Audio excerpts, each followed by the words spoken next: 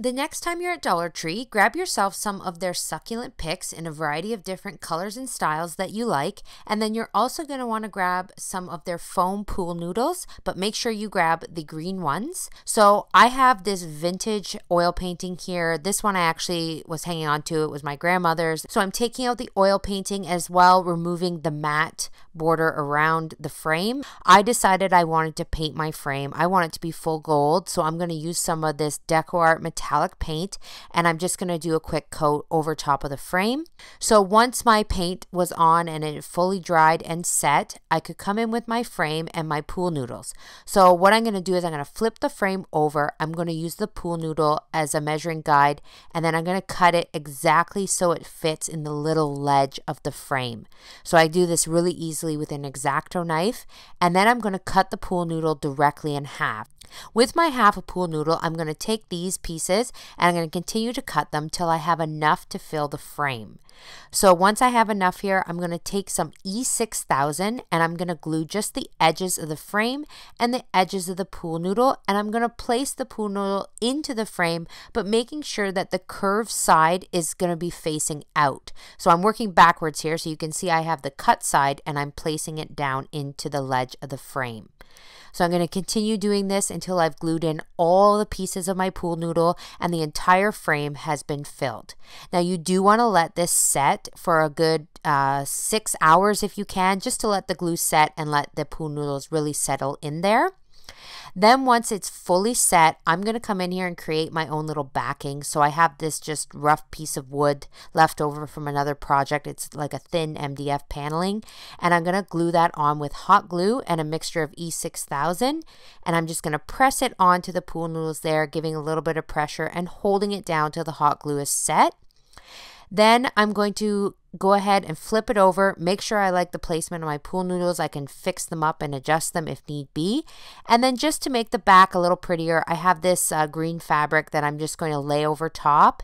And then I'm going to take a stapler and I'm going to staple it around just so the back is closed in. So I'm going to be turning this into like a live art piece. So I'm going to start with some moss. So I have some reindeer moss here and you want to make sure that you have lots of different styles of moss to give this some different texture. So I have reindeer moss, I have some Spanish moss, lots of different types of moss to give me all those varying different colors of green and brown. So I'm going to work along gluing them onto the pool noodles and you want to make sure that you shove them down in between the pool noodles.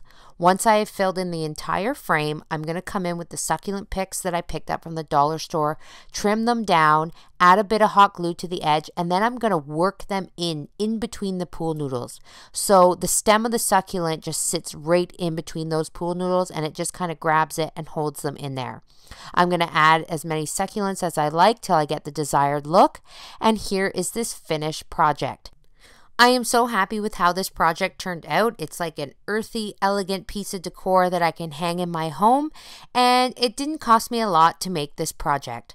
I really hope that this inspires you to get creative and grab some succulents from the Dollar Tree and see what you can come up with with this project.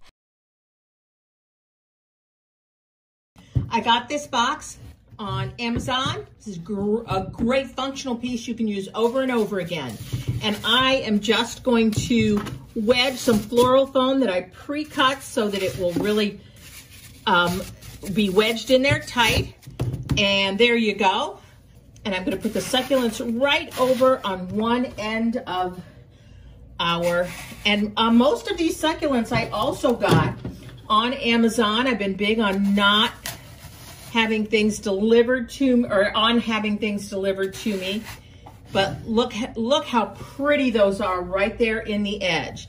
So we're just gonna keep building this up and putting some succulents all along the edge there. Let's put this one right here. A couple of these, just like so. Isn't this looking good already? And I wanna, I wanna make sure I mix them up. This was a collection that I bought on Amazon. But the great thing about these succulents is they add a different texture. And see how easy that is? I'm sure you can do this too.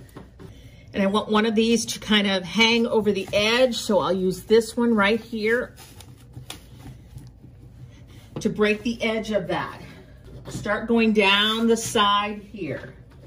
That's all I bought. And now on this side, what I'm going to do is I'm going to take some moss. This is kind of a colorful moss because, again, this is kind of a drab time of year, so we want to add some color and fun. And I am going to tuck this up under my succulents, like so, because we don't want the foam to show. That's the great thing about succulents too, is that they look so realistic that nobody's necessarily going to know that these are artificial.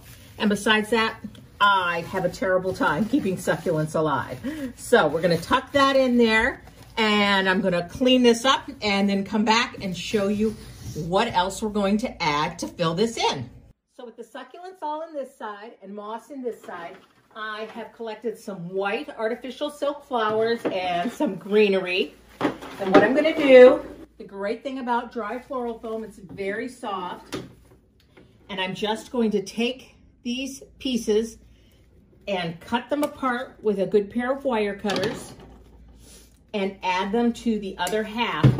So when things start to get a little sad and empty after you take down all your Christmas decor, you can add a bright spot with something new. This was not very expensive and is a great way to brighten up any little spot in your home. You can use this for a centerpiece or you can use it on a shelf. There we go. So don't, don't hesitate to mix succulents with something blooming. And I'm just gonna make a little hole through the moss there to stick that right down in the foam and just a little more greenery and we will be all done and I'll show you where we're gonna display this on a table.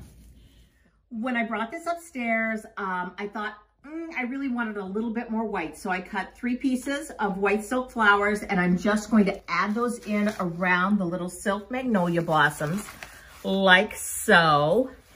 And that makes it a little bit brighter. But now look at this beautiful arrangement you have and how easy that was to do.